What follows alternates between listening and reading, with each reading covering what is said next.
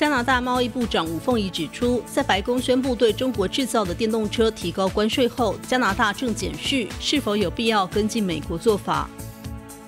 外媒二十日报道称，日本计划与东协共同制定汽车生产与销售的联合战略，以应对中国电动车在东南亚地区的竞争。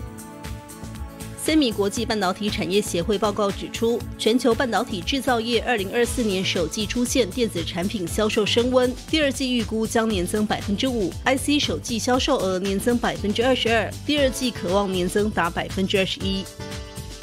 南韩今年四月泡面出口额达一点零八五九亿美元，约新台币三十四点九四亿元，创下单月泡面出口额最高历史纪录。南韩分析指出，除了南韩流行文化助攻，物价攀升也是泡面需求上升助力之一。新唐人亚太电视整理报道。